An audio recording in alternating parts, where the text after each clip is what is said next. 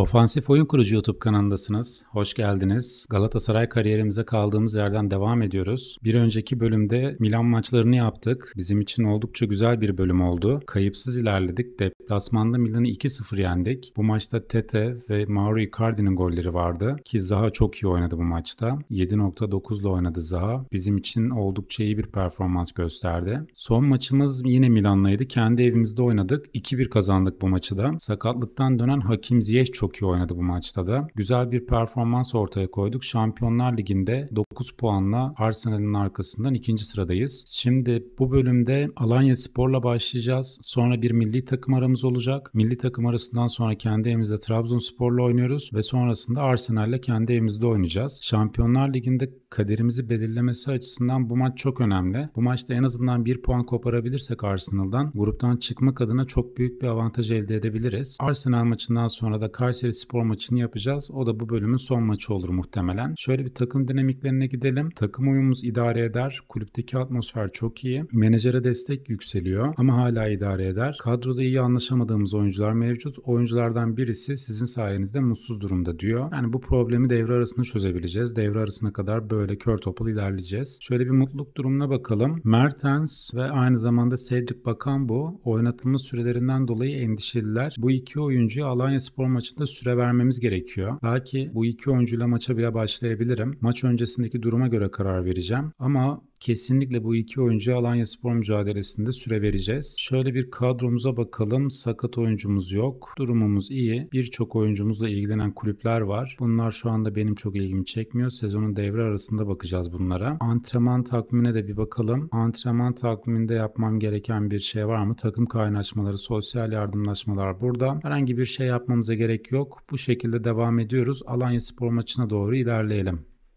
Rakibimizin gözlemci raporu geldi. Şöyle bir zayıf yönlere bakalım. Yani birçok konuda problem yaşıyorlar. Çalışkanlıkları kötü, takım oyunu kötü, dribbling konusunda iyi durumda değiller. Güç, dayanıklılık, cesaret bunlarda da problem yaşıyorlar. Yani yine sert oynayabiliriz rakibe. Belki bu maçta tempoyu da yüksek tutmaya çalışabiliriz. Çünkü yüksek tempoya ayak uydurabileceklerini düşünmüyorum. Dayanıklılık, çalışkanlık kötü kadro geneli itibariyle. Sisto'ya bakalım. Sisto'da da aynı şekilde. Yani yüksek tempo oynarsak o tempoyu kaldıramayabilir bu takım. Forvet oyuncuları etkili bir oyuncu Cordova. Fiziksel olarak çok iyi ki zihinsel olarak da çok iyi. Sadece karar almada problemi var. Onun dışındaki zihinsel özellikleri de çok iyi. 9 maçta 7 gol atıp 3 de asist yapmış zaten. Oldukça etkili bir performans göstermiş. Alanya maçına biz yüksek tempo oynamaya çalışabiliriz diyecektim ki burada bir sürpriz var. Türkiye Kupası'nda sürpriz var. Iğdır FK penaltılarla Trabzonspor'u elemiş. Maçın normal süresi 1-1 bitmiş. Sonrasında Iğdır FK penaltılarla Trabzonspor'u elemeyi başarmış. Evet o ilginç oldu. Alanya Spor da kupadan elenmiş. Pendik Spor 1-0 kazanmış. İstanbul Spor İskenderun Spor'a kaybetmiş. Evet birçok sürpriz sonuç var Türkiye Kupası'nda. Alanya Spor'a karşı geçiş çalışacağız. Duran top çalışmalarında bence ofansif korner organizasyonları yapabiliriz ve serbest vuruş savunması çalışalım. Son antrenmanlarımızı bu şekilde yapabiliriz Alanya Spor için. Barış Alper Yılmaz antrenmanlarda iyi çalışmış. Şöyle, şöyle bir övelim onu. Son zamanlarda antrenmanlarda iyi bir performans gösteriyorsun. Böyle devam et diyeceğim. Nelson da kötü çalışmış. Şöyle elimle çağırayım mı? Elimle çağırayım onu. Son zamanlarda antrenmanlarda gösterdiğim performans beni hayal kırıklığına uğratıyor Nelson. Hata bende hocam bunu telafi edeceğim dedi. Aferin çalışın. Antrenmanlarda çalışmayan oyuncu görmek istemiyorum kesinlikle. Bizim için pusula çok çalışmaktan geçiyor. Her zaman çok iyi antrenman yapmamız lazım. Yaklaşan Alanya maçına favori olarak çıkacağız. 1.83'lük bir oranımız var. Rakibimizin oranı 4. Pendik Spor maçını kaybetmişlerdi. Ondan önce de İstanbul Spor'a kaybetmişler deplasmanda. Nova is sakat. Onu riske etmeyebilirler. Bizde herhangi bir sakat oyuncu yok. Tam kadro sahada olacağız. Tabii tam kadro sahada olamayacağız ama en azından seçim konusunda sakatlıklar bizi engellemeyecek. Şimdi Şimdi Türkiye Kupası kurası çekiliyor. Tüm takımları eşleştir diyelim. Biz Çorum FK ile eşleştik. Bakalım diğer takımlar nasıl? Fenerbahçe Pendik Spor'la eşleşmiş. Beşiktaş buralarda mı? Beşiktaş'ta mı elendi yoksa yok o burada. Beşiktaş'ta Altın Ordu ile eşleşmiş. Onun dışında bakacağım bir şey yok. Tamam. Trabzonspor erken veda etti Türkiye Kupası'na. Biz Çorum'la oynayacağız. Tabii öncelikle Alanya Spor mücadelesine konsantre olmamız lazım. Türkiye Ligi'nde en çok oyuncu yetiştiren takımlarda Fenerbahçe ve Beşiktaş 16 oyuncuyla liderliği paylaşıyorlar. Galatasaray 14 oyuncu, Trabzonspor 14 oyuncu, bir zamanların efsane takımı Bursa Spor'da 13 oyuncu yetiştirmiş şimdiye kadar. Bu veri benim için önemli. Yani altyapıdan ben oyuncu yetiştirmek istiyorum. Bunu kariyerimin başında da söylemiştim ama takımda kullanamayacağım oyuncuları da takımda tutmaya inat etmeyeceğim. O oyuncuları Türkiye Ligi, belki Türkiye 2. Ligi bu seviyelerde takımlara kiralayacağız. Belki bonservisiyle göndereceğiz. Önemli olan bizim altyapımızdan çıkan oyuncuların Türkiye 1. Ligi, Süper Ligi seviyesinde forma giyiyor olmaları. Yani özetle hedefim burada liderliği ele geçirmek olacak. Alanya Spor maçına hazırız. Şöyle bir ilerleyelim. Talimatları bence otomatik verebiliriz bu maçta. Buraya bir gelelim bakalım. Ben kadroyu yerleştireyim şimdi. Rotasyon da yapmayı düşünüyorum bu maçta. Bir kadroyu yerleştireyim. Alanya Spor maçına kadromuz hazır. Orta sahada Sergio Oliveira'ya görev vereceğim bugün. Yani son 5 maçtaki performansı orta saha oyuncularımda en iyi Sergio Oliveira'ydı. Onun da Torreira ile bir uyumu da var zaten. Tete, Mertens, Zaha hücum hattında olacaklar. En uçta da Cedric Bakambu gol kovalayacak bugün. Belki bu maç özelinde şurada topa dalı da açabiliriz. Onun dışında yapmak istediğim bir şey yok. Burada ufak bir değişiklik yaptım. Daha yaratıcı oynayı kapattım ve rakip savunmanın üstüne gide açtım. Bunu bir iki maç gözlemlemek istiyorum. Ön alanda etkinliğimizi arttırabilir belki bu. Şimdi yabancı sayısı fazla olmuş. O zaman buradaki yabancı oyuncularımızın bir tanesinden vazgeçeceğiz. Kimden vazgeçebiliriz? Yok ya ilk 11'deki yabancı sayısı. Pardon. Angelinho çıkacak. Kazım Karataş gelecek. Hala fazla. Tamam. Ön alanı bozmayacağım. Bir de Kaan Ayhan gelsin buraya. 3 Türk oyuncu da savunma bölgesinde olsun. Bu şekilde çıkalım maça. Lucas Torreira iki yönlü orta saha oynamak istemediği için biraz dertli. Ne diyelim iyi bir form yakaladık beyler. Bu seri burada bitmesin. Böyle devam edelim. Hadi diyeceğim. Tamam oyuncularımız etkilendi. Bence bu yeterli. Alanya Spor deplasmanındayız. Biraz rotasyon da yaptık. Icardi inişli çıkışlı bir performansı var. Onun yerine bugün Cedric Bakambu ile oynayacağım. Icardi'nin biraz da formanın tek sahibi olmadığını anlaması lazım belki de. Sisto'ya pas. Sisto orta geldi. Muslera'da kaldı. Tehlikeli geldi Alanya Spor. Şimdi Muslera sağ tarafta topu istiyor Kaan. Nelson aldı. Nelson Kaan kendini gösterdi. Topu aldı Kaan Ayhan. Sergio Oliveira Torreira'yı buldu. Zaha terse doğru oynar mı? Oynadı Tete'ye. Tete içeri doğru kırıldı. Tete geçemedi rakibini Kaan Ayhan. Kaan geldi. Ortayı açtı. Zaha golü attı. Wilfred Zaha golü atıyor. 1-0 öne geçiyoruz. Kaan Ayhan'ın desteği çok iyiydi. Ortası da güzeldi. Güzel bir pas attı içeri. Burada Tete topu kaybetti ama Kaan Ayhan aldı topu. İçeri çok güzel gönderdi yerden. Cedric Bakambu hemen arkasında Zaha topa müdahale etti ve golü attı. 1-0 yakaladık. Güzel oldu. İlk şutumuz gol oldu. Böyle devam edelim. Şimdi Novais. Onu da sakat sakat oynatıyorlar yalnız. Of direkten geri geldi top. Alanya Spor galibiyet istiyor. Sakat da olsa Novais'i oynatıyorlar bugün ilk 11'de. Şimdi Kaan Ayhan bakıyor arkadaşlarına. Cedric Bakambu'ya verdi topu. Bakambu iyi pas. Tete çevir içeri. Kaan Ayhan. Kaan Pasını verdi Kazımcan'a. Kazım golü atıyor. Kazımcan. Kazımcan Karataş bu sezonki ilk golünü attı. Genç oyuncumuzun bu golü benim için çok değerliydi. İki bekten çok iyi destek aldık burada. Kaan yine asisti yaptı. Kazımcan da golü attı. Çok iyi oldu bu. Yalnız bu yeni top çok iyi ya. Siyah topla gerçekten eziyet çekmişim ben. Bu yeni top çok keyifli oldu benim için. Siyah topu görmek çok zordu. 2-0 yakaladık deplasmanda. Rotasyon yaptığımız haftada şu anda 2-0 öndeyiz. Bu önemli. Yalnız bu oyuncularımızdan biraz daha fazla verim alsam daha iyi olacak. Oyuncularımızdan verim alma noktasında hala biraz problem yaşıyoruz. Bakan bu. Yani Sergio Oliveira çok iyi oynamıyor yine. Belki bu bölgedeki rolü de bir kontrol ederim. Yani defansif oyun kurucu savunma oynatıyorum. Arkaya çok iyi pas. Cedric Bakan bu golü attı. Formayı isteyen iki oyuncu Dries Mertens asisti yaptı. Cedric Bakan bu da golü attı. 3-0'ı bulduk. İlk yarıdan 3-0'ı bulduk. Rahatladık. Mertens topu aldı. Savunma arkasına çok güzel bir pas. Bakan bu müdahaleyi etti. Kaleciyi çalınladı. Boş kaleye gönderdi topu. Soyunma odasına gidelim. Kaleye çektiğimiz isabetli şut sayısından memnunum. Böyle devam diyeceğim. Şuraya bir gelelim bakalım. Burayı şöyle denesek. Serbest defansif orta saha destek diyelim. Defansif oyun kurucu destek diyelim. Bu şekilde bir deneyelim bakalım ikinci yarıda. Yani belki o, bu oyunculara verdiğim şu bireysel talimatlar da etkiliyor olabilir oyuncuları. Hem sıkı markaj yapmalarını hem topa sert olmalarını istiyorum. Arkaya doğru bir orta olmadı. Carlos Eduardo götürüyor topu. Dikkatli olun savunmada. Carlos Eduardo pas Sisto'ya dikkatli. Sisto Muslera. Muslera gol yemeyeceğim diye inat etti. Yani Muslera'yı da göndermek gerçekten bana koyacak ama yapacak bir şey yok. Sezon sonu sözleşme yenilemeyi düşünmüyorum. Ondan dolayı yeni bir kaleci transferi yapmamız gerekiyor. Yani takımdaki oyuncularımız da kaleci transferi istiyorlar. Kaan arkaya Nelson direkten dışarı gitti. Yani Türk kaleci de Günay'dan daha iyi bir Türk kaleci sadece Uğurcan var. Yani Günay'ın bir üst seviyesinde olabilecek Uğurcan var. Tabii ki İrfan Caner Bayat ya da Altay Bayındır da var ama onları transfer edemeyeceğimi düşünerek söylüyorum. Uğurcan'ı da alabilir miyiz ondan emin değilim.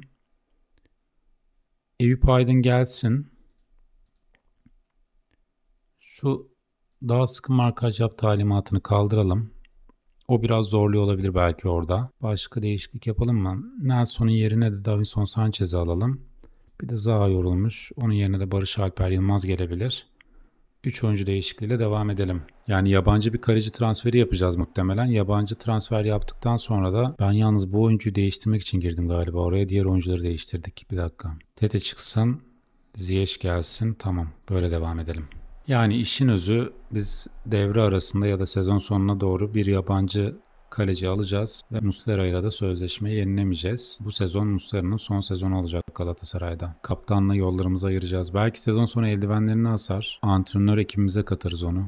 Ama bilmiyorum belki bir iki sezon daha oynamak isteyebilir. Maçı kazandık. 3-0 kazandık. Güzel oldu. Alanya Spor deplasmanında da kayıpsız ilerliyoruz. Ne yapalım? Eller belde. Tebrikler beyler. İyiydiniz diyelim ve yolumuza devam edelim. Kaan Ayhan yaptığı iki asistle maçın adamı olmayı başardı. Güzel bir performans ortaya koydu. Bu arada şuna bakacaktım. Bu maçta çünkü rakip savunmanın üstüne git talimatını açtık. O nasıl oldu ona bir bakalım. Şimdi buradan hücuma geleceğiz. Evet driplinglere bakacağız. Bek oyuncumuz Kaan Ayhan bir çalım atmış. Diğer bek oyuncumuz Kazımcan Karataş iki çalım atmış. Lucas Torreira bir çalım. Tete 5 çalım atmış. Evet bu talimat işe yarıyor. Özellikle Tete ve Wilfred Zaha yani biri 5 çalım diğeri 3 çalım atmış. Bu önemli. Yani rakibi eksiltmek adına önemli bu. Bu önemli. Bu talimatı açık tutabiliriz. Yani belki büyük maçlarda kullanmayız ama onu duruma göre kapatırız. Genelde açık kalabilir bu talimat. Şimdi Kaan Ayhan'ın performansını bir övelim. Ne yapalım? Kolumuzu omzuna atalım. Son maçta pas tercihleri mükemmeldi. Böyle devam et diyeceğim. Buradan da bir öneri gelmiş bize. Lucas Perry 13,5-16 milyon diyor. Maaş beklentisi çok düşük. Evet Brezilya Ligi'nde oynuyor. Şöyle bir bakalım. 25 yaşında ki özellikleri güzel. Yumrukla uzaklaştırma eğilimi 18, birebirler 16. Fiziksel olarak gayet iyi görünüyor. Yani çalışkanlık biraz düşük ama olabilir. Asosyalmiş, sinirine hakim olmakta problem yaşıyormuş. Yani şunu geç, maksimum oyuncu lisansı geç, dili geç. Sinirine hakim olamıyor ve asosyal. Onun dışında artılar uyum, önemli maçlar, yumruklama, süreklilik dengeli. Artıları güzel. Bence bu kaleci düşünülebilir. Lucas Perre. Bu kaleciyi takip listemize ekleyeceğiz ve sezonun devre arasında bakacağız buna.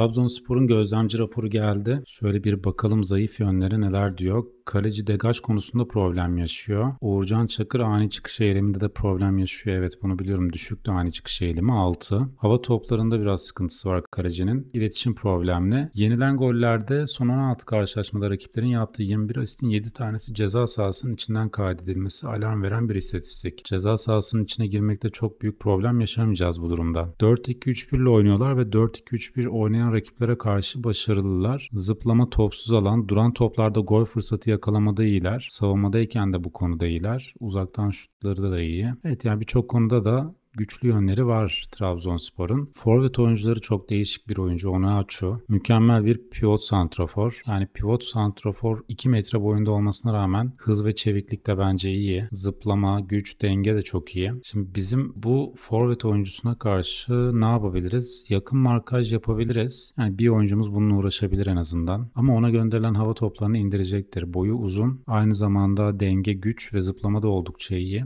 Bakacağız. Nicolas Pepe fiziksel olarak çok iyi. Özel yetenek var, dribling var, teknik iyi. Topsuz alan gayet iyi ama agresiflik, cesaret, çalışkanlık ve kararlılık çok düşük. Sert oynarsak oyundan düşeceğini düşünüyorum. Biz şöyle bir ilerleyelim bakalım. Trabzonspor'la biz deplasmanda mı oynayacaktık? Hayır, Ali Samiyen'de oynayacağız. Tamam bu iyi. Bu bizim için avantaj olur. Trabzonspor için yapacağımız hazırlıklar Şimdi taktik çalışması top bizdeyken diyelim. Duran toplarda ofansif korner organizasyonları ve bence korner savunması çalışalım. Bu şekilde devam edebiliriz. Evet Trabzonspor maçına 1.83'lük oranla favori çıkıyoruz. Rakibimizde sakat oyuncular var. Fontas'tan faydalanamayacaklar. Benkovic, Orsic, Larsen ve Bania. Onlar da bu maçta oynayamayacaklar. Bizde sadece Torreira oynayamayacak. Cezalı durumda şu anda. Cezalı olduğu için bu maçta forma giyemeyecek Torreira. Trabzonspor'un form durumu son 5 maçta 3 beraberlik 2 galibiyet almışlar. Yaklaşan maç öncesi hem yönetim hem taraftar galibiyet bekliyor. Bu maça galibiyet parolasıyla çıkıyoruz. 3 puan almamız gerekiyor bu maçta. Ligde durum nasıl? Şu anda Fenerbahçe ile aramızdaki puan farkı 5. 3. sıradaki Samsun Spor'la ise 10 puan fark var arada. Trabzonspor maçına hazırız. Bu maçta maalesef Davinson Sanchez'i kullanamayacağım. Wilfred Zaha'yı da kullanamıyorum. Genel fizik kondisyonları düşük. Onun için stoper mevkinde Abdülkerim ve Nelson oynayacak. Orta sahada Endombele ve Kerem Demirbay olacak. Artık orta sahada biraz istikrar sağlamam gerekiyor. Onun için orta saha oyuncularımızı sık sık değiştirmek istemiyorum. Kerem Demirbay'ı tutacağım. Onun buraya uyum sağlamasını istiyorum. Onun yanında Endombele ve Lucas Torreira değişmeli oynayabilir. Yani şu anlık kararım bu yönde. İleride bu kararım da değişebilir de. Şimdilik böyle düşünüyorum. Hücum hattında Kerem Aktürkoğlu, Hakim Ziyech ve Tete olacak. En uçta da Icardi bugün forma giyecek. Bu maç özelinde rakip ceza alanına paslaşarak gir talimatını açtım. Trabzonspor'un raporunda bunu görmüştük. Rakiplerin yaptığı asistlerin büyük bir çoğunluğu ceza alanı içinden gerçekleştirilmişti. Onun için rakip ceza alanına paslaşarak gireceğiz. Şöyle bir takımı bildirelim biz. Bir dakika. Yedekleri almadığım birileri var mı? Halil Dervişoğlu dışarıda kalmış. Tamam. Yapacak bir şey yok. Halil Dervişoğlu dışarıda kalacak. Takımı bildirelim. Oyuncularımız maç kadrosundan memnunlar. Buraya bir yardım isteyelim bir bakalım. Bunu hiçbir zaman diyelim. Pepe'yi sert oynuyoruz. Onu açıyor. Yani sıkı markaj verelim mi? Hadi bir deneyelim sıkı markaj verelim onu açıyor. Soyunma odasına gidelim. Yumruğumuzu sıkacağız. İyi oynuyoruz ve güzel bir seri yakaladık. Bunu devam ettirelim beyler diyeceğim. Oyuncular bana mısın demedi. Savunma oyuncularına size inancım tam diyeyim. Bir de forvetlere iyi bir performans göstereceğine eminim. Fark yarat hadi göreyim seni dedim. Sadece 3 oyuncumuz etkilendi. Ali Samiyen Spor Kompleksi Rams Park'ta Galatasaray Trabzonspor mücadelesi. İki takım da konsantre. Bakalım nasıl bir mücadele olacak. Trabzonspor'da ilk 5'te. Şimdi biz Friki'yi kullanacağız. Kerem ortaladı arkaya doğru. Nelson indirdi. Boy attı golü Sasha Boy. İşte bu be. Yine erken attık golü. 8. dakikada Sasha Boy attı. 1-0 öne geçtik. Friki'yi çok etkili kullandık. Nelson güzel indirdi.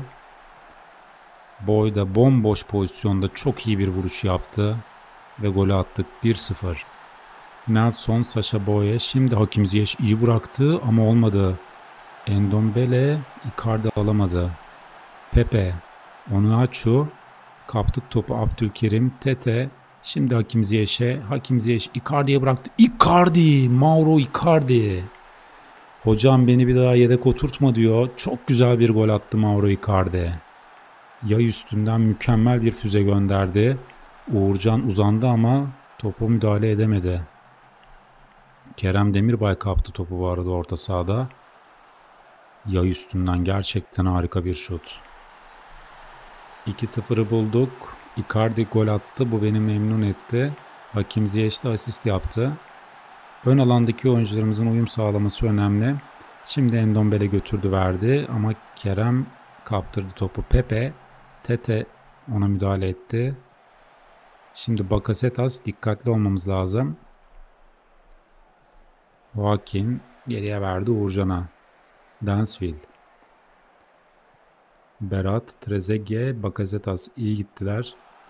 Etkili geliyor Trabzonspor. Bakasetas ortayı da açtı. Aman onu açıyor gelmesin o top. Mendy dışarı vurdu. İyi bir şut gelmedi Mendy'den. Yalnız Trabzonspor tehlikeli geldi. Bu pozisyonda etkili geldiler. Sasha Boy, Tete. Boy şimdi Hakim Ziyech. Verdi Angelinho'ya. Kerem Angelinho. Angelinho iyi döndü. Güzel bir şut ama dışarı gitti top. Aferin oğlum. Bunları dene. Önemli değil. Bir olmaz, iki olmaz, üç de olur. Bu şekilde hücum katkısı vermeni istiyorum senin. Şimdi Bakasetas kullanacak. Kaleyi yokladı. Direkten geri geldi. Mehmet Muslera uzan. Onu açıyor. Havadan top geldiğinde gerçekten korkuyorum. Trezeguet dikkatli. Onu açıyor. Direkten geri geldi. Oğlum vurdurmayın şu onu açıyor ya. Vurdurmayın diyorum da o da ne mümkün yani. 2 metre adam. Bir de güçlü de bir oyuncu. Trezeguet golü attı. İyi paslaştı Trabzonspor. Bu dakikalarda zaten bunaltmışlardı bize. Kaleye sık sık geldiler. Ve sonunda golü de attılar. Dansville, Bakasetas burada Mendy. Pepe de gelmiş. Dansville. Joaquin, Trezeguet tekte. Muslera elinin altından kaçırdı ve golü yedik. Şimdi Nelson. Verdi Kerem Demirbay'a. Kerem çok yavaş ama ya. Pepe, Onuachu dikkatli Mendy aldı topu. Mendy içeri doğru gitti. Şutunu çekti dışarı. Tete çok iyi oynamıyor. Kerem Demirbay çok iyi değil yine. Ne oldu ya? Ben yine bunlara böyle bakarken pozisyonları kaçırıyorum. Soyunma odasına gidelim. İyi oynuyoruz ama bu maçı kazanmak için performansımızı bir tık yükseltmemiz gerekiyor diyeceğim. Kerem Demirbay da gergin. Hani orta sahada bu 8 numara pozisyonunda çok bir verim alamadık nedense. Orada bir Sergio Oliveira biraz iyi oynuyor.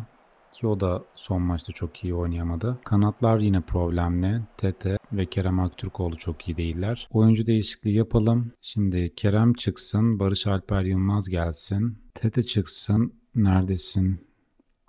Mertens buradasın. Şöyle yapalım. Hakim Ziyech sağ kanada geçsin. Tamam Kerem Demirbay'da biraz inat edeceğiz orada. Hakim Ziyech de yoruldu artık. Abdülkerim.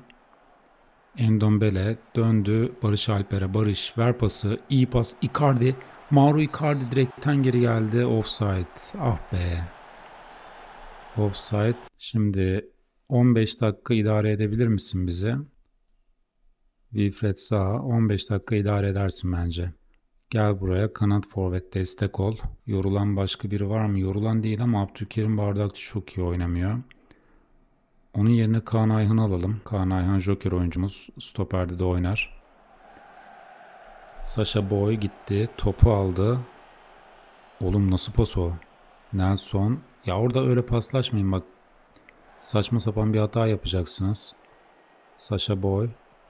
Ortaya doğru Dries Mertens Endombele'ye verdi. Endombele şimdi Barış. Barış aldı topu. Haydi Barış. Dön geriye. Angelinho, Endombele. Bir kez daha Angelinho, Endombele. Kerem kaleyi yokladı dışarı gitti. Kerem Demirbay uzaklardan yokladı kaleyi ama olmadı.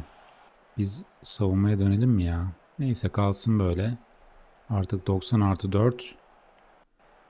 Oh 2-1 kazandık. Ben biraz sonlara doğru korktum açıkçası ama maçı kazanmayı bildik. Aslında rakibe göre daha iyi oynadık. 2.45 gol beklentimiz var. 2 mutlak gol pozisyonumuz var. Ama ne olursa olsun 2-1 riskli bir skor. Ki rakipte de iyi bir forvet vardı. Hoş onu da çıkarmışlar sonradan. Kaç puanla oynadı? He, buraya sol, sol tarafa çekmişler onu açıyor. Biz ona yakın markaj uygulayınca onu sol tarafa çektiler herhalde. Soyunma odasına gidelim. Eller belde. Tebrikler beyler. İyiydiniz. Trabzonspor'da yenmeyi başardık. Kayıpsız yolumuza devam ediyoruz. Güzel bir mücadele oldu. Trezeguet maçın adamı oldu. O da güzel bir gol atmıştı. Biz de üst üste 13. galibiyetimizi aldık. Sasha Boy sarı karttan dolayı ceza sınırına ulaştı. Bir sonraki maçta forma giyemeyecek. Takım dinamiklerine bakalım. Evet takım uyumumuz artık iyi. Menajere destek de iyi ve Kulüpteki atmosferde mükemmel. Nihayet umarım bu düşüş yaşamaz. Bizi destekleyen oyuncu sayısı 9'a yükseldi. Nüfuslu oyuncular arasında Hakim Ziyech, Kaan Ayhan da bizi destekleyenler arasına katıldılar. Tamam şu anda bu takım dinamikleri iyi ki benim için en önemlisi takım uyumu. Bunun yükselmiş olması gerçekten beni mutlu etti. Bunun artması bizim için çok büyük avantaj olacak. Yani bizim en büyük silahımız bu olacak. Bir sonraki maçımız Arsenal maçı ve Arsenal için gözlemci raporu geldi. Şöyle bir bakalım yenilen gollerde neler diyor. Son 20 maçta rakiplerin yaptığı 13 asistin 4 tanesi ara paslarından kaydedilmiş. Son 20 karşılaşmada rakiplerin yaptığı 13 asistin 5 tanesi sol kanattan kaydedilmiş. Yani bizim sağ kanadımız. Belki bu maçta Zaha'yı sağ tarafa atabiliriz. Oradaki etkinliğinden faydalanabiliriz. Top kapmada problemleri var. Hava toplarında problemleri var. Yani aslında Zaha da olabilir, Tete de olabilir. Tete de iyi oynuyor çünkü. Bu iki oyuncu arasında tercih yaparız. Sağ tarafı iyi kullanmamız gerekiyor bu maçta. Duran toplardan gol fırsatı yakalamada iyiler. Bizi belki duran top savunması da çalışabiliriz. Yakın direğe atılan kornerlerde toplara ilk dokunan takım olma konusunda da iyiler. Şimdi 4-3-3 kullanıyorlar. 4-3-3 kullanırken de 4-2-3-1'e karşı iyi oynuyorlar. Çeviklik, özel yetenek, teknik birçok konuda iyi zaten Arsenal. Saka, Martinelli ya. Martinelli başımın belası. Bakalım bu maçta neler olacak, neler yapacağız. Martinelli'den gerçekten çekiniyorum ama. Şu kadroda en çekindiğim oyuncu Martinelli. Biz ilerleyelim. Martinelli'yi durdurabilecek miyiz onu da görürüz. Şimdi bakan bu endişelenmeye başladı. Ne diyor? Forma süresinden dolayı başka bir kulübe kiralanmak istediğine dair imalarda bulunuyormuş. Muslera sen bir sorunu çözebilecek misin? Dene ama ümidim yok. Olmadı değil mi? Çözemedin yine. Tamam biz konuşalım. Benimle konuşmak istediğinizi duydum hocam. Konuşalım o zaman diyor. Şu an kafanı kurcalayan bir şeyler olduğu söylendi bana. Ben de merak ettim. Nasılsın? Bir problem mi var? Senin için ne yapabilirim? Dedim. Bana söylenen şekilde forma süresi verilmediği için beni oynatabilecek bir kulübe kiralanmam gerektiğini düşünüyorum. Şöyle yapalım. Artık bizim kulüpten ayrılıp kariyerine yeni bir sayfa açman senin için daha iyi olur diye düşünüyorum diyeyim. Söylediğim her şeyi unutun. Konu hiç açılmamış gibi davranacağım.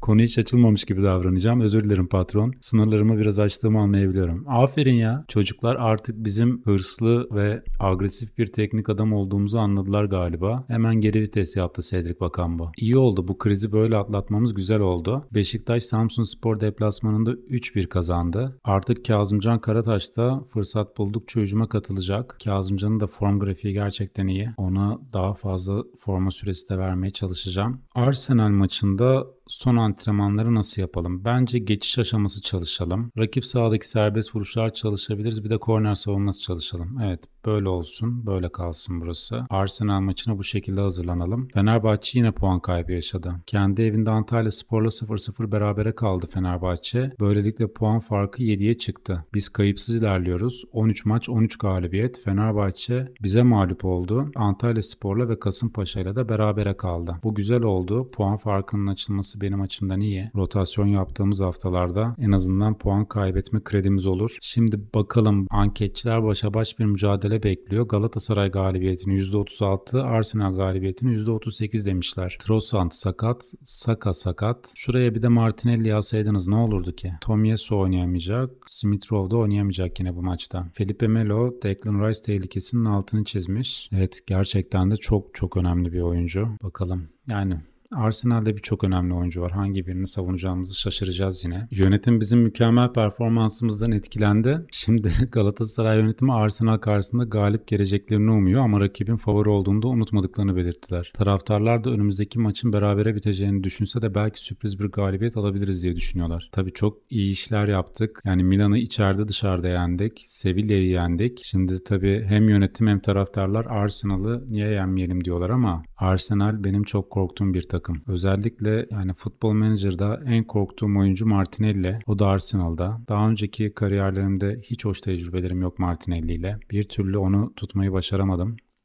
Arsenal maçına hazırız. Zaha sağ kanatta görev alacak bugün. Orta saha ikilimiz Kerem Demirbay ve Torreira olacak. Onun dışında kadromuzda bir değişiklik yapmadık. Bu maç özelinde sağ kanadı kullanmaya çalışacağız. Ve orta sahada da Torreira'ya savaşçı orta saha dedim. Belki bir de burayı açabiliriz. Top adalı da açalım. Biraz daha sert bir mücadele ortaya koymaya çalışalım. Bu şekilde maçı ilerliyoruz. Kendi evimizde oynuyoruz. Yumruğumuzu sıkacağız yine motive etmek adına yumruğumuzu sıkıyoruz. Bizi övenlerin ne kadar haklı olduğunu göstermeliyiz bence beyler. Futbol futbol nasıl oynanır gösterelim hadi dedim. Evet birçok oyuncumuzu etkiledik. Wilfred Zaha'nın da kendine güveni yerine gelmiş. Icardi etkilendi motive oldu. Bu önemli. Savunma hattımız motive oldu. Tamam bence yeteri kadar etkiledik oyuncuları. Ben gaza geldim. Oyuncular gaza geldi. Maça hazırız. Haydi bakalım. Kendi evimizde Şampiyonlar Ligi mücadelesi. Arsenal zor bir takım. Şimdi Angelinho ile taç atışını kullanacağız. Hakim Ziyech. Angelinho verdi Kerem'e. Kerem. Kerem. Wilfred Zaha ah be. Zaha aslında bu pozisyonları sever ama kareyi bulduramadı. İyi bir şut çıkardı ama kareyi tutmadı top. Arsenal evet baskıyı arttırdılar. 3 şut. Kareyi bulan şutları yok. %55 topla oynuyorlar. Yalnız bunu tutabilir miyiz böyle bilmiyorum. 4 şut oldu. Bir tanesi kaleyi buldu. 0.62'lik gol beklentileri var. Şimdi Muslera sol tarafa Angelinho'ya. Angelinho Kerem Aktürkoğlu aldı. Kaptırdı topu White'a. Saliba, Kerem girdi araya tekrar kazandı topu geri. Hakim Ziyech, Angelinho. Haydi Angelinho iyi götür.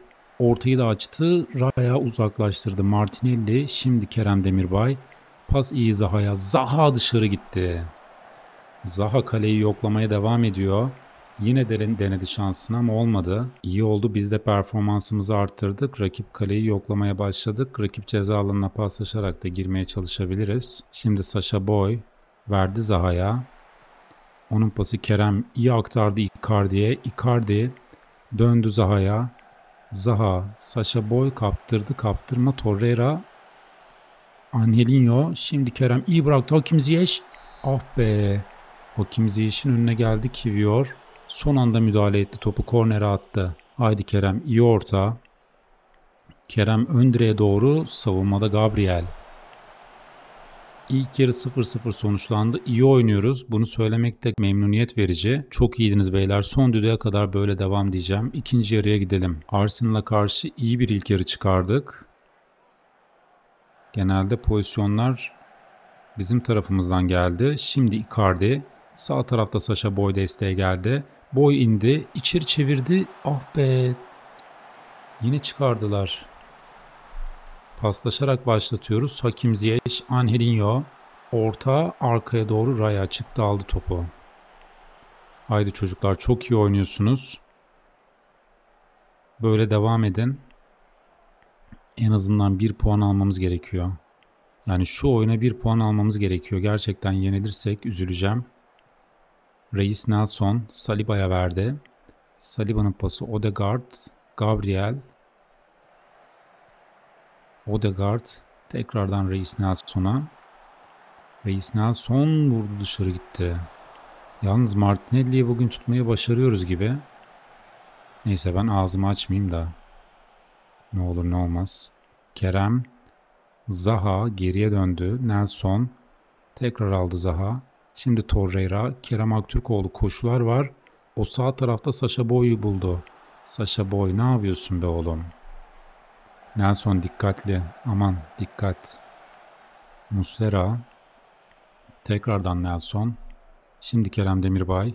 İyi döndü. Güzel pas Icardi'ye. Haydi Icardi. Hakim Ziyech. Top aldı. Hakim gitti. Olmadı. Kaleyi bulamadı Hakim Ziyech. İyi bir şut. Güzel bir deneme ama olmadı. 60. dakikaya geldik. Şöyle yapacağız. Zaha çıkacak. Tete girecek. Ters ayaklı kanat oyuncusu. Ziyech'in yerine de Mertens neredesin sen gel. Dries Mertens'e güveniyorum. Kerem de yoruldu. Kerem'i de çıkarmayı düşünebiliriz. Ama biraz daha gidelim böyle. Sevilla Milan'ı yeniyor. 1-0 öne geçti Sevilla. 80. dakikaya kadar geldik. Kerem çıksın. Barış Alper Yılmaz gelsin. Sürpriz anların oyuncusu. Angelinho'nun yerine de Angelinho da yorulmuş. Şöyle bir Kazımcan'ı alalım. Bu şekilde devam edelim. Fabio Vieira olmaz aman direkten geri geldi. Gerçekten gol yeseydik çok üzücü olacaktı. İyi bir performans ortaya koyuyoruz şu ana kadar. Son dakikalarda yalnız aksamaya başladık. Reis Nelson. Nelson içeri girdi. Çevirdi golü yedik. Allah kahretmesin. Havertz golü attı. 1-0 geriye düştük. Ben yine aynı hatayı yaptım ya. Yani niye savunmaya dönmüyorum ki değil mi? Yine aynı hatayı yaptım. O zaman hata çevireceğiz. Haydi çocuklar Mertens, Kerem. Tekrar Mertens. Mertens yapma. Kerem. Abdülkerim. Nelson kendini gösterdi. Oğlum paslaşmayın orada ab absürt absürt ya. Nelson Tete'ye iyi pas. Tete ortaladı. Icardi vuramadı. Barış Alper. Hadi Barış bir kere daha çevir içeri. Barış içeri doğru girdi. Barış vurdu. Of be. Kornere gitti top. Haydi bakalım bir korner daha kullanacağız. Kerem Demirbay. Arka direk Kerem. Arka direğe doğru aç. Kerem ortaladı. Savunma. Savunma değil mi? Bunaltıyoruz rakibi son dakikalarda. Bir korner daha kullanacağız. Kerem. Kerem ortaladı. Arkaya doğru Abdülkerim vuramadı. Tete sen de ortala içeri. Tete, Kazım, Nelson, Abdülkerim. Şimdi Boy. Oğlum içeri doldurun topu ya. Boy ortaladı. Raya çıktı aldı topu. Olmayınca olmuyor maalesef ki olmadı. Evet Arsenal'e karşı 1-0 kaybettik. Yapacak bir şey yok. Elimizden geleni yaptık. Çocuklara sert olmama gerek var mı ya? O kadar gol pozisyonuna girmemize rağmen bu maçı kazanamadığımız için moralim bozuldu diyeceğim sadece. Tamam böyle devam edelim. Biz Arsenal'e kaybettik ama Milan da kaybetti. Sevilla deplasmanda Milan'ı yenmeyi başardı. Sergio Ramos penaltıdan attı golü. Biz hala ikinci sıradayız. Son maçı Sevilla ile oynayacağız ama biz deplasmanda oynayacağız. Milan'da Arsenal ile oynayacak. Grubun durumu gerçekten karışık tabii. Ama biz en azından Avrupa kupalarında yolumuza devam etmeyi garantiledik. Bakalım son maçlarda neler olacak? Şampiyonlar Ligi'nde yolumuza devam edebilecek miyiz? Göreceğiz. Aa bir dakika. Ben bunun hiç farkında değilim ya. Tabii doğru. İkili avarajla belirleniyor değil mi? Şu kurallara bir bakalım. Evet lig sıralama kuralları takımların arasındaki maç sonuçları dikkate alınıyor. Yani ikili avaraj. Biz ikili avarajda zaten Milan'ın önündeyiz ki. Evet Milan'ı hem içeride hem dışarıda yenmeyi başardık. Son maçta Sevilla'ya kaybetsek bile 9 puanda kalacağız. Milan kazanmış olsa da 9 puana çıkacaklar ve biz yine de gruptan çıkıyoruz. Güzel oldu. Yani şu anda gruptan lider çıkma ihtimalimiz de ortadan kalkmış oldu. Çünkü Arsenal'ı hem içeride hem dışarıda kaybettik. İkinci olarak gruptan çıkacağız. Şampiyonlar Ligi'nde yolumuza devam ediyoruz. Bu, bu gerçekten güzel oldu. Böylece yönetimin hedeflerinden bir tanesini başarmış olduk. En kötü ihtimalle Şampiyonlar Ligi'nde eleme turlarına ulaşılması diyorlardı. Biz de bunu başardık. Kayseri Spor'la deplasmanda oynayacağız maçı. Biz yine geçiş aşaması çalışabiliriz ofansif korner organizasyonları ve korner savunması yapalım. Bu şekilde devam edelim. Fenerbahçe Adana Demirspor'la oynuyor ve Fenerbahçe yine puan kaybı yaşadı. 0-0 berabere kaldılar Adana Demirspor'la. Şu anda puan farkı 6. Kayseri Spor maçını kazanırsak puan farkı 9'a çıkacak böylece. Deplasmanda oynuyoruz ama favoriyiz. Lionel Karol sakat. Hosseini sakat. Ondan da faydalanamayacaklar. Kemen'de problem var. O da oynayamayacakmış bu maçta. Önemli eksikleri var. Bizde de Sasha Boy cezalı olduğu için forma giyemeyecek. Yani son maçımızı kaybettik ama Arsenal'a karşı kaybettik. Ligde kayıpsız ilerliyoruz biz. Galibiyet serisi rekorunu kırmaya hazırlanıyor diyor. Bir maç kalmış. Eğer bu maçı da kazanırsak rekoru kıracağız. Şu anki rekor 13 maç ile Beşiktaş'a aitmiş. Transfer dönemi yaklaşıyor ve transfer haberleri çıkmaya başladı. West Ham hedefindeki ismi açıkladı Torreira. West Ham Torreira'yı transfer etmeyi düşünüyor. Olympique Lyon'da Oliveira'yı transfer edecek diye bir haber yayınlandı. Eğer Oliveira'ya teklif gelirse gerçekten iyi olacak. Şöyle bir transfer durumuna bakalım. İlgilenen kulüpler arasında Olympique Lyon var. Güzel. Sergio Oliveira'yı satarsak çok iyi olacak. Hem maaş bütçesinde kendimize yer açmış olacağız hem de bir transfer bütçesi oluşturmuş olacağız. Kayseri Spor maçına doğru ilerliyoruz. Kadromuzda çok büyük değişiklik yapmadım. Sadece Saşa Boy cezalı olduğu için bu maçta forma giyemeyecek. Onun yerine Kaan Ayhan geldi. TT'de Zaha'nın yerine sağ tarafta oynayacak bugün. Zaha'nın maç yükü ağırdı. Ondan dolayı onu kullanmak istemedim. Evet tamam Burası da okey. Bu şekilde çıkabiliriz. Takım bildirelim. Maça doğru ilerleyelim. Şimdi Arsenal'da kaybettik 1-0. Bu maçı kazanırsak ligde Fenerbahçe ile puan farkını 9'a çıkaracağız. Ve aynı zamanda da rekor kırmış olacağız. Onun için bu maç önemli. İyi oynuyoruz ve güzel bir seri yakaladık. Böyle devam edelim dedim. Yani çok etkilenmediler. Savunma oyuncularına size inancım tam dedim. Bir de orta saha oyuncularına size inancım tam diyeceğim. Harika. Şu anda Lucas Torreira da memnun görünüyor. Bir de birebir de Icardi ile konuşalım mı? Senden iyi bir performans bekliyorum. Yani bunları da kaybettik. Şampiyonlar Ligi dönüşleri her zaman risklidir. Ama güzel oynayıp kazanırız diye ümit ediyorum. İlk şutu biz attık. %56 topla oynamamız var. Abdülkerim Bardakçı ne oldu? Niye kart gördün? Sertliği azalt. Şimdi Attama, Hasan Ali, Bahoken.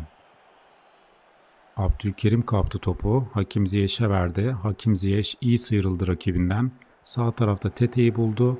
Tete içeri doğru Torreira indiriyor. Icardi, Icardi, Icardi. Mauro Icardi golü attı.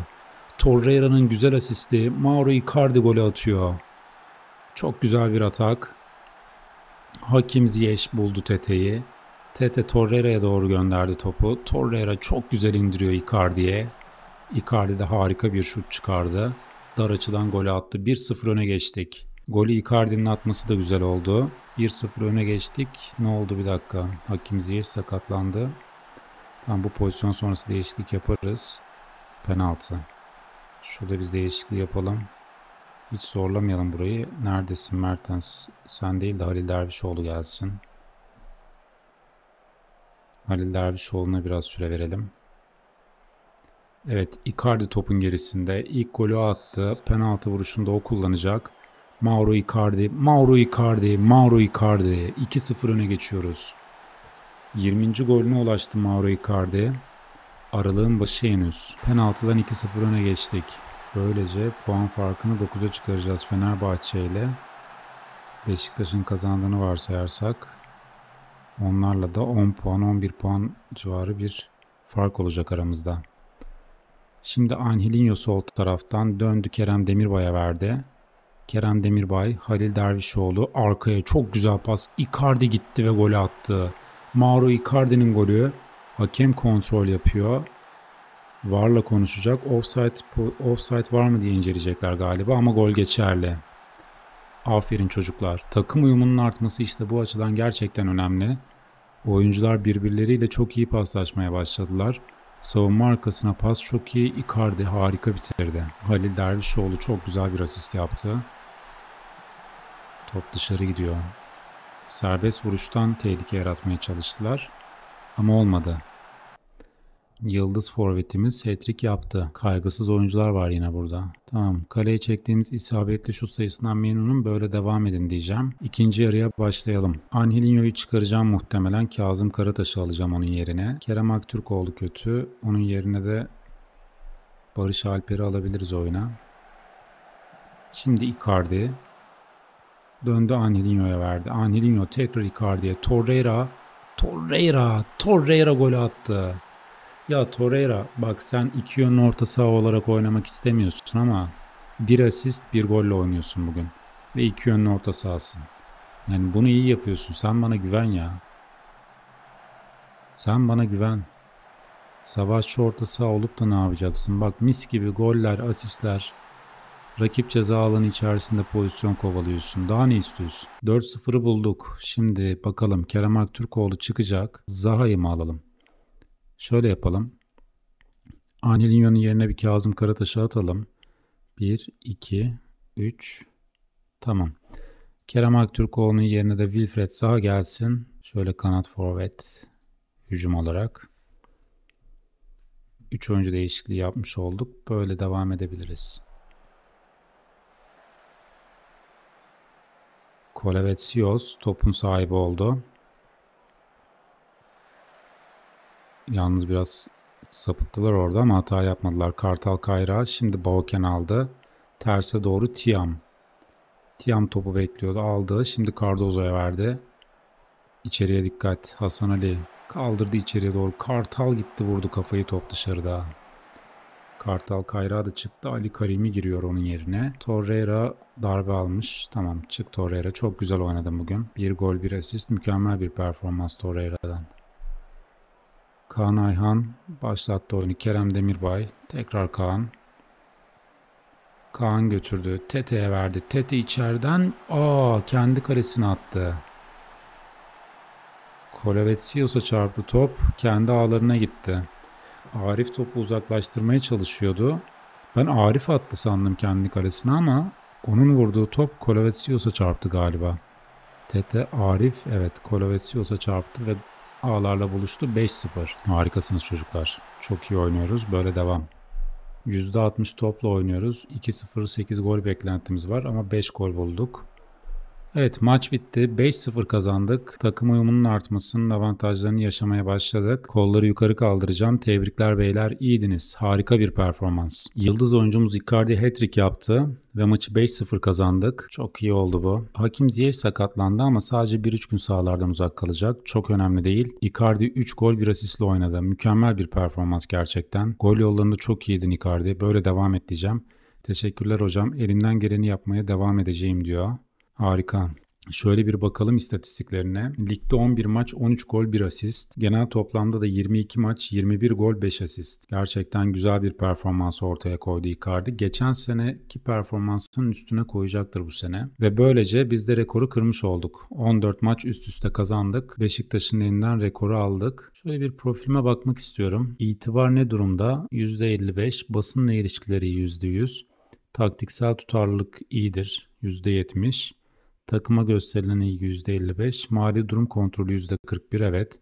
Çünkü maaş bütçesini açtık. Disiplin kontrolü %55. Aidiyet duygusu %50. Yerli oyuncu eğilimi %45. Güzel. Hücum futbolu oynatır. Yüksek tempolu pres oyunu oynatır. Şöyle bir fikstürümüze bakalım. Yine güzel bir bölüm olduğunu düşünüyorum. 4 maç yaptık. İlk bölümün ilk maçında Alanya Sporu 3-0 yendik. Trabzonspor'u geçmeyi başardık 2-1 ile. Arsenal'e yine takıldık maalesef. Bu sezon sadece 2 mağlubiyet aldık şimdiye kadar. Bu iki mağlubiyet de Arsenal'a karşı oldu. Sonrasında dönüşünde ligde Kayseri Spor'u 5-0 yendik. Böylece Fenerbahçe ile aramızdaki puan farkını da arttırmış olduk. Şu anda Fenerbahçe ile 9 puan var aramızda. Beşiktaş'ın kazandığını varsayarsak 32 puan olacak. Beşiktaş'la da 10 puan fark olmuş olacak aramızda. Bir sonraki bölüme Sevilla maçıyla başlayacağız. Yine 4 maç yaparız diye düşünüyorum. Bu 4 maçı tamamlayacağız. Sonrasında sezonun devre arası girecek ve bizim transfer yapmamız gerekiyor. Transfer piyasasını yoklayacağız. Kaleci transferini halletmemiz gerekecek. Takım dinamiklerinde gelişmeye devam ediyoruz. Takım uyumumuz artık iyi. Menajere destek iyi ki yükselmeye devam ediyor. Kulüpteki atmosfer mükemmel. Hiyerarşiye baktığımda Dries Mertens'in de desteğini almış durumdayız. Bizi destekleyen oyuncu sayısı 13'e çıktı. Bu iyi oldu. Yani Takımın başına geldiğimizde zor bir dönemden geçtik soyunma odasındaki problemlerden dolayı ama bunu güzel idare ettik. Oyuncuların desteğini almayı başardık şimdiye kadar. 13 oyuncu bizi destekliyor şu anda. Şöyle bir genel duruma bakacak olursak da burada Kerem'in sıkıntısı var. Birçok oyuncu Kerem'i haklı buluyordu bu konuda. Bunların sayısı da azaldı. Yani şu anda sadece Mauro Icardi, Sergio Oliveira ve Eyüp Aydın Kerem'i haklı buluyor. Şu kısım biraz önemli. Halil Dervişoğlu endişeli burada. Cedric Bakambo endişeli. Yani bu iki oyuncuya da forma süresi vermemiz gerekecek önümüzdeki maçlarda. Yoksa bu iki oyuncu da problem çıkaracaktır. Şöyle bir gelelim. Kazımcan Karataş'ın profilini açalım. Kararlılığı da yükseliyormuş. Kazımcan Karataş'ın profilinde bu bölümü kapatalım. İzlediğiniz için teşekkür ediyorum. Bir sonraki bölümde görüşmek üzere. Kendinize iyi bakın. Futbolla kalın.